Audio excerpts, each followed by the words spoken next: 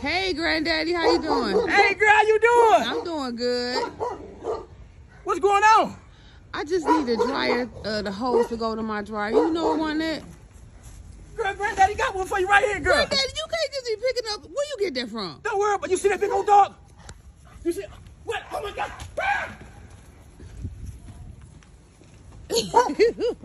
oh yeah, man. It's your birthday. We just feeling good, man. It's feeling good in this car right now. Yeah, Babe, why we sitting in this car? It's hot in here. It's sweaty in here. No, we gotta sweat out the way we love each other, babe. We just gotta. Whew, man, cause we just love each other so much, so we just gotta sweat, you know. But we sitting outside the movie theater. It's my birthday. I don't want to sit outside no movie theater. Well, li listen, babe. Listen, I just want to hear you breathe. I don't want to hear nothing else. I don't even want to watch no movie. You know what I'm saying? Like too much, too much watching movies. It ain't good for your eyesight. No, I just want to just hear you. Babe, just say you ain't got no money. All right, I ain't got no money, and uh, your birthday came up too fast.